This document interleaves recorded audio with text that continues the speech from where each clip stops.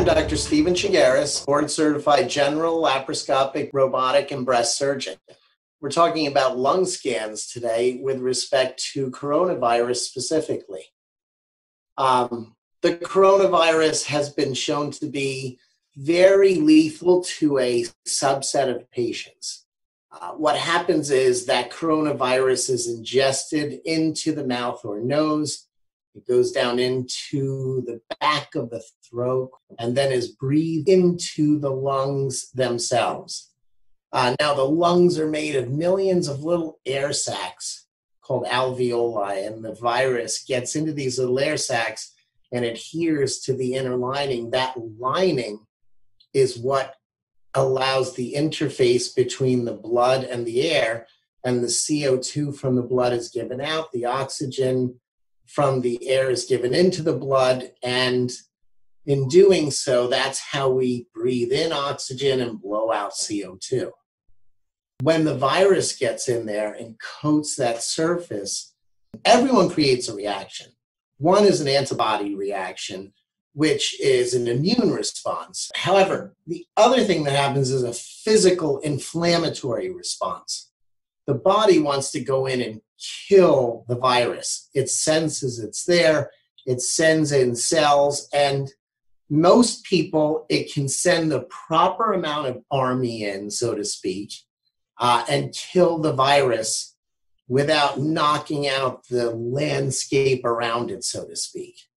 But in a small percentage of patients, the body's internal reaction causes too much inflammation. And then that causes a large fluid um, bolus or fluid filling up of the lungs. And then that stops the ability for oxygen and carbon dioxide to be able to fuse through those air sacs. Now, how do we see that? One of the problems is that often normal chest x rays are going to miss this because radiation itself will go through the lung tissue and the fluid, and it may not show anything too specific. Um, and then a CAT scan may show something totally different where you can see how both lungs are all inflamed and have fluid in them. Um, the newest thought is the lung scan using ultrasound.